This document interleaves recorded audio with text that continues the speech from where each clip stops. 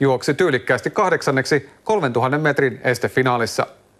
Verkkaisessa alkuvauhdissa 15 juoksijan joukon hännille asettunut Raitanen ryhtyi viimeisillä kierroksilla poimimaan edellään juosseita kilpakumppaneitaan ja ylitti maaliviivan siis lopulta kahdeksantena ja mikä merkittävintä parhaana eurooppalaisena. Kultaa juoksi Marokon Sufiane El Bakkali. Mainiossa vauhdissa oli myös Sara Kuivisto 1500 metrin alkuerissä.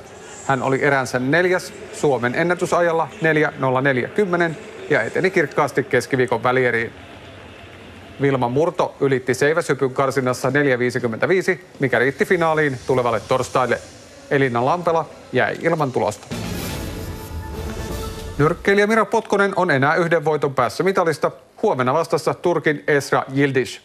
Arvi Savolainen jatkaa olympiapaineja keräilyerissä. Mahdolliset mitaliottelut ovat niin ikään tiistain ohjelmassa.